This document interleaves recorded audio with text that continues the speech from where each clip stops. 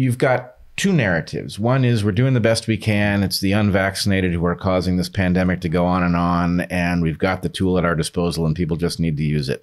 Okay, that's obvious nonsense, but nonetheless, that's the story. Um, and then you've got the alternative narrative, which is actually the vaccines, interesting as they are as a technological discovery, have multiple design failures within them.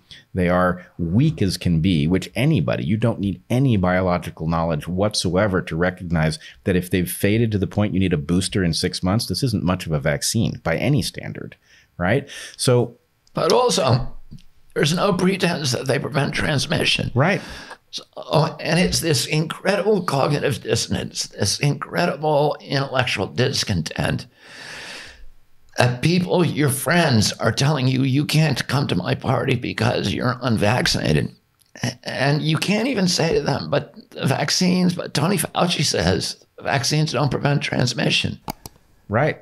And you can tell somebody that fact, and the reaction will be to get furious at you rather than say, oh, um, then how am I protected? We know that vaccinated people are equally likely, from all the data that we have, to pass the illness to you. They may, you know, there's a lot of data that says if you're vaccinated, you're more likely. Yep. Well, I can't say that's true because um, we do not have, because nobody's, you know, funding the science to show that. But the science that we have, and also common sense, and this is what Luc Montagnier, who discovered, you know, won the Nobel Prize for discovering the HIV virus in 1993. And what he said from the beginning, if you if you vaccinate people with a, what they call a leaky vaccine, which is a vaccine that does not prevent transmission during the height of a pandemic, you are turning every vaccinated person into a mutant factory. You're actually it's a each person is a uh, a serial passage gain of function experiment. Exactly. De facto. For the same reason that subtherapeutic antibiotics right exactly generate um, generate uh, antibiotics resistant superbugs. Yep.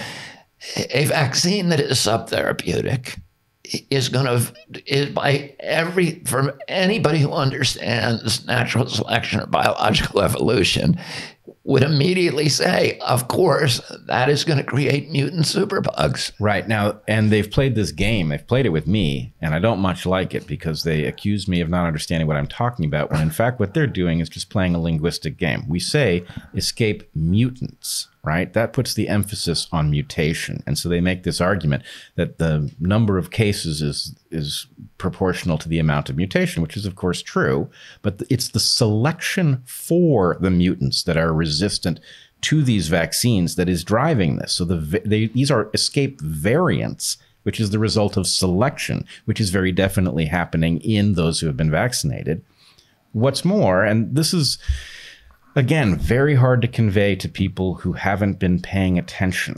But COVID is not the worst disease it might be from the point of view of the symptoms, but it's very bad on its own, right? It does damage to many different types of tissue. It does attacks all organs, right? Essentially, all organs, which I take to be indicative actually of the likely origin from the lab because most bugs have to pay attention to you know keeping you on your feet so you spread them but in a laboratory things are very different if you're spreading it in a tissue or in an animal that doesn't have to forage right it can right. it can you, if, if you are a pathogen you want your host to be eating, drinking, having sex, going to parties, right? Um, and and because you, the advantage goes to the ones that are not sickening every organ in their host, right? So this is a bad disease, and Heather and I have said that from the beginning. This is a dangerous disease. Yep. Those who downplay it were making a mistake. The irony is that this has actually changed. This was a very dangerous disease until some very good, dedicated doctors figured out how to treat it, right? It is now a very manageable disease, except for the fact that all of the tools that would prevent it and are useful in treating it are being removed from the table as quickly as possible. And so the idea that you know it isn't one you know yes ivermectin indeed there's a really good drug that works really well in this case we know that from doctors clinical experience likewise hydroxychloroquine But even if you take those off the table, we still have a whole host of substances that work. And we actually, in fact, have substances that prevent people from coming down with it.